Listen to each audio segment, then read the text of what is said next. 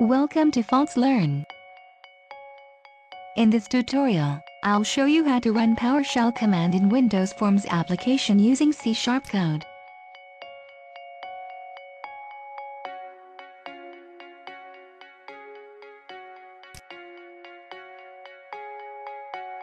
Open your form designer, then drag text box, label and button controls from the Visual Studio toolbox to your WinForm. We will design a simple UI allows you to run PowerShell command in Windows Forms application.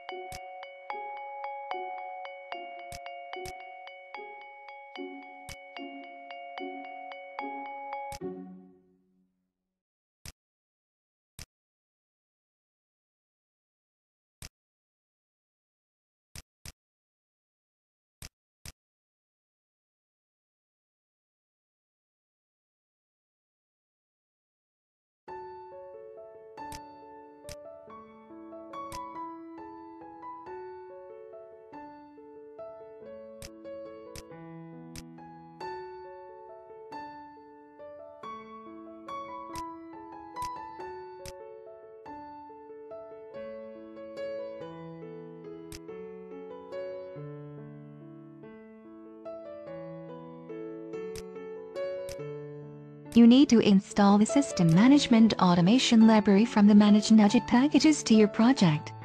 The System Management Automation library is an open source that allows you to run PowerShell commands in C Sharp.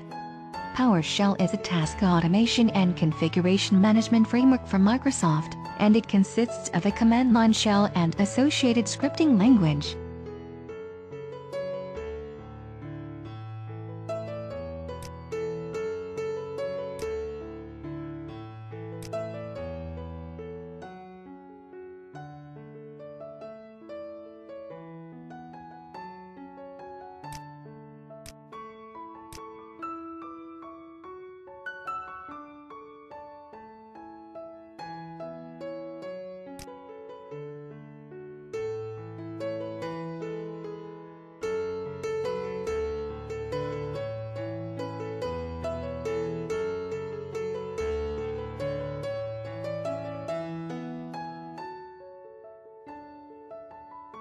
A run space is the operating environment for the commands that are invoked by a host application.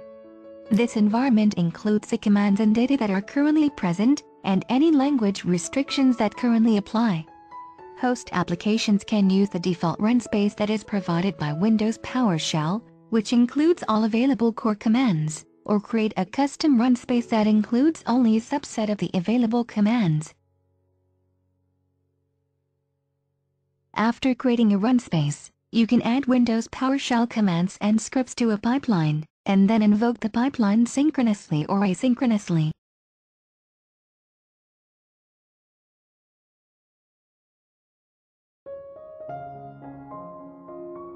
You can run an existing script by calling the add script method.